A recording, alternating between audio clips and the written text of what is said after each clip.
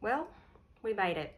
2020 was a difficult year in many ways, and the physical isolation was particularly difficult at times when we'd usually be together, like times of celebration and times of commiseration. And the disruption also made it harder to organise ourselves personally and politically.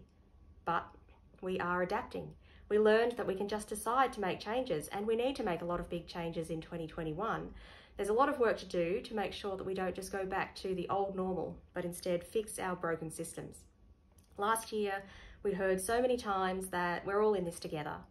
This year, let's prove that that's true and work towards things that matter, like a livable income for everyone, a safe climate, and to keep our government honest, all while we navigate a pandemic. To continue our push for change, the Science Party's back at online meetings from Monday nights and face-to-face -face meetings as soon as it's safe. Hope to see you soon.